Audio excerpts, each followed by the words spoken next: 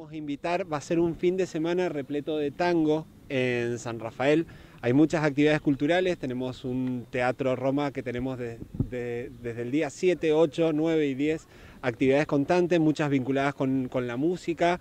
Hay propuestas de banda tributo eh, a grandes músicos como lo que es Queen eh, y también los Rolling Stones. Pero también tenemos teatro en el Teatro Roma eh, en este fin de semana largo y hay propuestas eh, como una feria que va a realizarse en el Espacio Inca en la Villa 25 de Mayo, del cual está Franco Casati acá al lado mío, y también distintas propuestas de tango, algunas en el marco de Tango por los Caminos del Vino que se realiza en conjunto con el Ministerio de Cultura y Turismo de Mendoza y la Dirección de Cultura de San Rafael y aquellos espacios gastronómicos o eh, bodegas que participen. En este caso queremos invitar a todos el día lunes a la propuesta que se va a realizar a las 18 horas en la bodega Chaslacián, en la calle Bianchi, al 1300.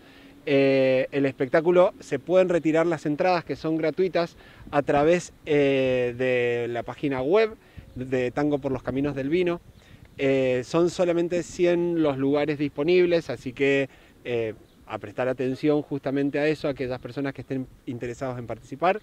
Vienen artistas de la provincia, del norte de, Mendoza, eh, Ricardo Di María y su orquesta van a estar aquí también con una pareja de tango que nos va a deleitar con su propuesta. Pero esto es el día lunes 11, como decía recién, en la bodega Chaslacián. Pero eh, desde el viernes al domingo se van a realizar en el laberinto de Borges distintas actividades por la tarde vinculadas al tango. Así que bueno, todos invitados a a participar en este fin de semana largo que tenemos eh, extra largo con, eh, con, una gran cantidad de actividades culturales. Seamos cuidadosos con los protocolos sanitarios en estos contextos. Eh, recordemos que si vamos a estar en un lugar donde haya afluencia de público, de mantener constantemente el barbijo por más que sea al aire libre. y es una forma de, de seguir cuidándonos en estos momentos complejos a pesar de que la pandemia digamos, va cediendo lentamente, pero bueno, no aflojar nosotros desde ese lugar.